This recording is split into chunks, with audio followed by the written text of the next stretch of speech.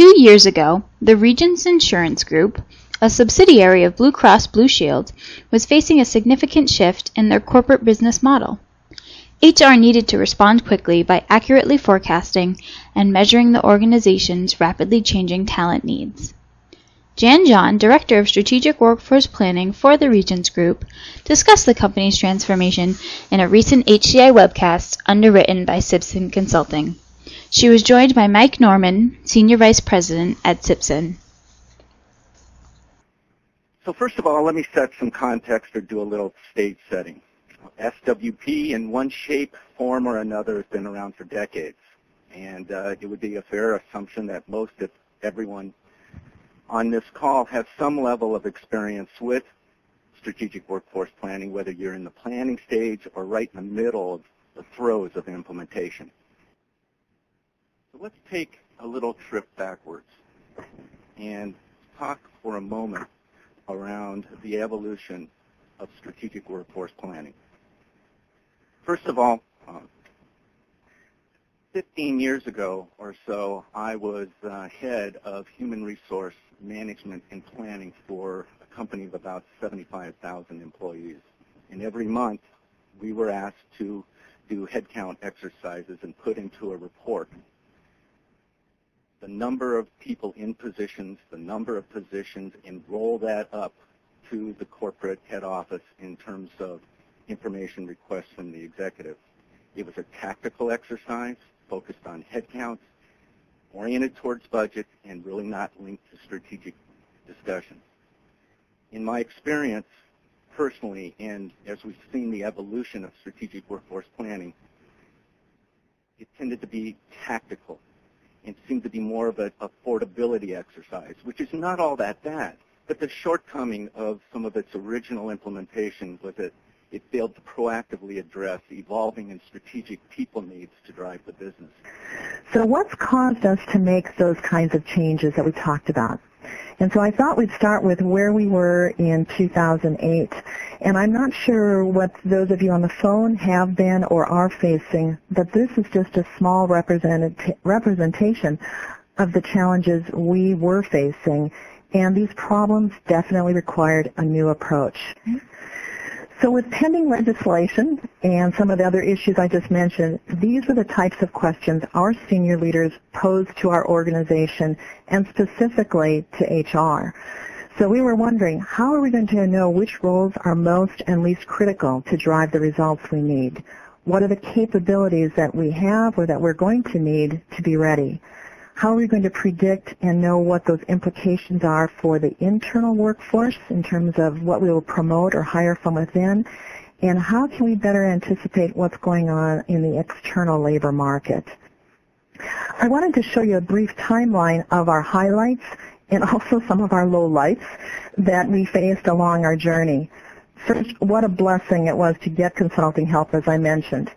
I had researched several firms, and based on the work done with previous clients and their approach, we selected Sibson.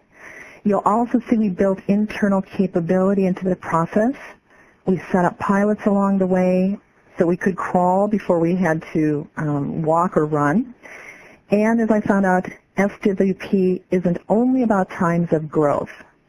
That might have been nice, but fortunately or, or unfortunately, as the case may be, from a personal growth experience, I also learned how we could use strategic workforce planning in the midst of layoffs and some loss of business.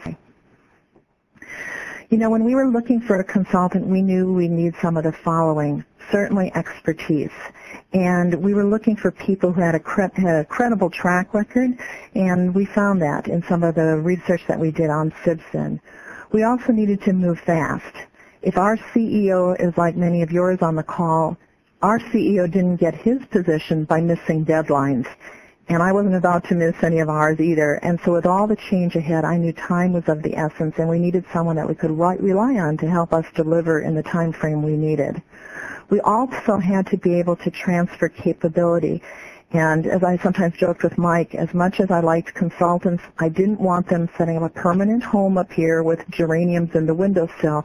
I wanted to be able to learn from them, be able to apply it, and then use them as I needed, but not to have them take up shop here forever. I want to talk a little bit about the Sibson approach, and Mike, feel free to chime in on this one as well, because this is what your whole business is built on, on this particular area. But we did look at several different models, from ones that were very simple to some that were complex. We like the approach that Sibson had, which is shown here. And in the middle of the slide, the blue box of business strategy, we knew that was going to be essential, needing to really be clear on the business strategy before we bounced into workforce planning. When I mentioned strategic roles in the previous slide, one of the other things we were looking for was how to segment our workforce. You know, what did a differentiated workforce really mean? And I appreciated this from Sibson because it helped challenge our leaders to think of our talent as a portfolio of assets. You know, it made such sense because we had a portfolio of products, we had a portfolio of projects, a portfolio of clients, but we'd been slow to think about our human capital as a portfolio of assets. Okay? So again, looking at the current landscape and what preceded us on our journey, I thought it'd be important to also share with you some of our lessons learned. And I have oodles of them, but I'm going to just try to capture some of our favorites in the next few minutes. You know, I mentioned earlier piloting, and we piloted with three different divisions. And to mix things up, we picked a large one recommended by the CEO, a small one under, and then one that was going under a lot of change. That way we thought we could test SWP in, in uh, various situations while we still had our consultants, you know, partnering with us close to, close by. And yes, timing is everything. Um, I wish I could hear your responses on the phone, but I wonder how many of you know what the Bohica syndrome, syndrome is. And if you're in HR, you should know it because that's one of the things that business areas are likely to say when they hear things like HR is here to help or we have a new initiative being launched through HR. Bohica simply stands for bend over, here it comes again. And believe me, as we started this, we had our resident cynics lining up so we also had to deal with what we called the ugly baby syndrome. You probably know it better by thinking about if you've ever seen an ugly baby, you had the good graces to not tell the new mom that that was an ugly baby.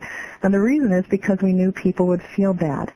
Well, in some of our pilots, when they heard they'd been selected, they felt as if they'd done, had done something wrong or that our CEO was calling them an ugly baby. Where we are, we are where we should be. Mike said that to me on more than one occasion. Jan, relax. You are where you should be.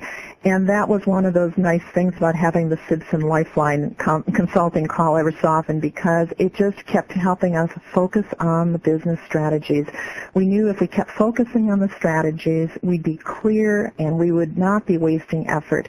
So we wouldn't be focusing just on activity, but we'd be focusing on impact.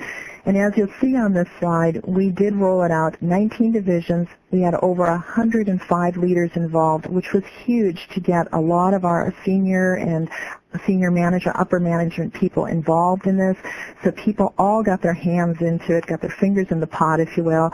And through this, we've already written 35 talent requirements, which is a critical piece um, that I won't go into at this point, but I will take questions on if you want later on. And we had about 8% of our workforce that uh, roles that were identified as strategic.